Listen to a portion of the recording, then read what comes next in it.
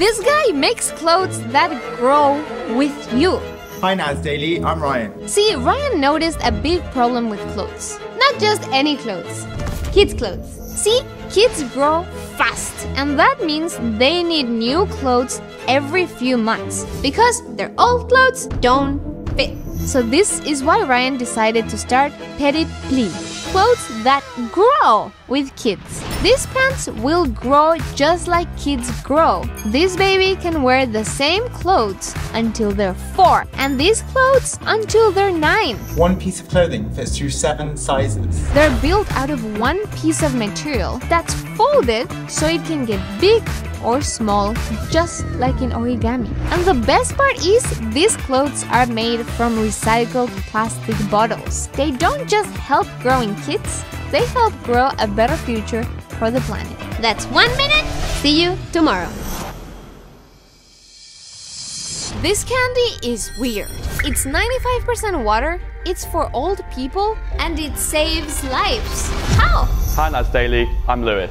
When Lewis's grandmother got dementia, he noticed a big problem. She wasn't drinking enough water. And it turns out this is actually a big problem for older people. One study showed that 50% of old people die from being thirsty. That's why Lewis created Jelly Drops. Lewis made candy for grandparents. These candies are 95% water. Jelly drops help give people extra water.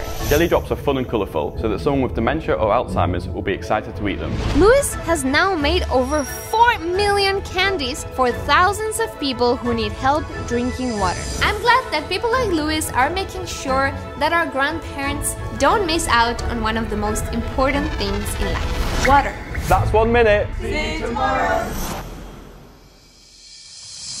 We found one of the youngest billionaires in the world. We found him in Rayagada, India. This is Ritesh. He is 27 years old. So, how did he become a billionaire? Well, he took the biggest risk of his life.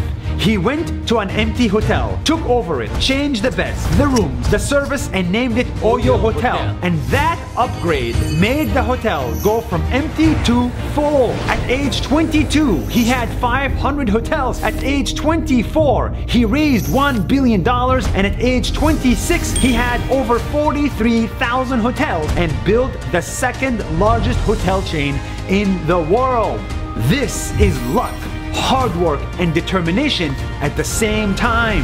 When you don't let your age, background, or ethnicity get in the way, you will achieve greatness. That's one minute. See you tomorrow.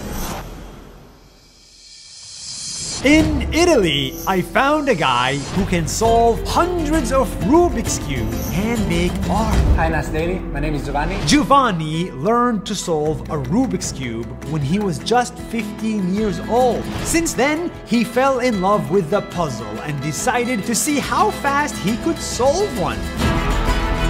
But then he got bored. That's why he decided to mix hundreds of cubes and connect them together to make portraits like this. He draws the portraits on his computer, then he twists all the Rubik's Cube and finally puts them on a huge frame. When his pictures went on social media, they instantly became a hit. Today, getting a Rubik's Cube portrait from Giovanni will cost you thousands of dollars. This guy's story is proof you can make a living from even a crazy passion like solving a Rubik's Cube. That's one minute. See you tomorrow.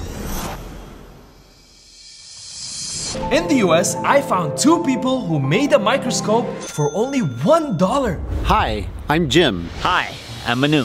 Manu and Jim saw that poor countries have a lot of tiny monsters hidden in their water which can make people sick. And most of these monsters can only be seen by a microscope that costs $2,000. So they made a microscope which is 1,000 times cheaper because it's made of paper. You take this paper, fold it like an origami, assemble it, and just like that, you have a microscope that allows you to see objects 140 to 1,000 times bigger than they actually are. It's so durable that it can survive physical and water damage. With this price, they're able to make 500,000 microscopes and send them all around the world.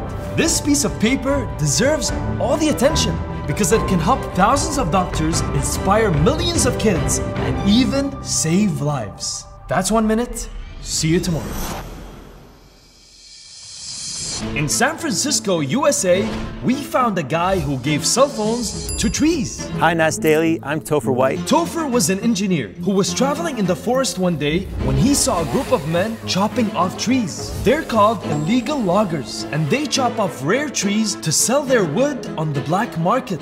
But when he went to alert the police, they said they already knew about these loggers and had a tough time catching them. Because the forest is so loud, they could never hear them chopping down trees. So he thought, why not build a device that'll let the trees call for help like a cell phone? Him and his team, Rainforest Connections, started taking old phones and tweaked them so they would automatically alert the police whenever there were chainsaw sounds. He would put these phones on top of trees in weatherproof boxes. The forests can't protect themselves, but at least now, thanks to Topher's cell phones, they can just call us up whenever they need our help. That's one minute. See you tomorrow.